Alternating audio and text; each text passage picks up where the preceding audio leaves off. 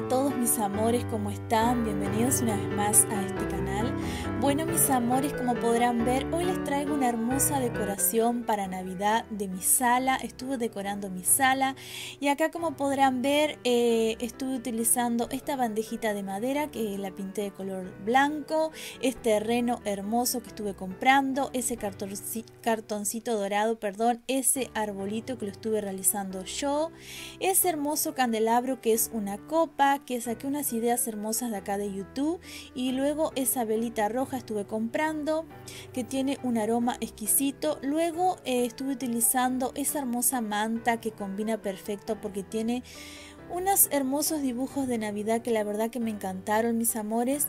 Em, Luego estuve haciéndome esas fundas rojas de almohadones y ese que es de peluche que la verdad que me encantó demasiado mis amores. Miren qué bonito que son esos renos ahí en esa manta. Son preciosos, combina hermoso esta manta. Me encantó, la quise poner ahí porque yo dije esto es ideal para Navidad. Y bueno mis amores, eh, Así es como quedó el sillón. Ahora les estoy mostrando el cuadro que lo amé, me encantó muchísimo, combina perfecto. Es un cuadro con muchas rosas, eh, bien con las tonalidades de Navidad que lo amé, lo amé demasiado.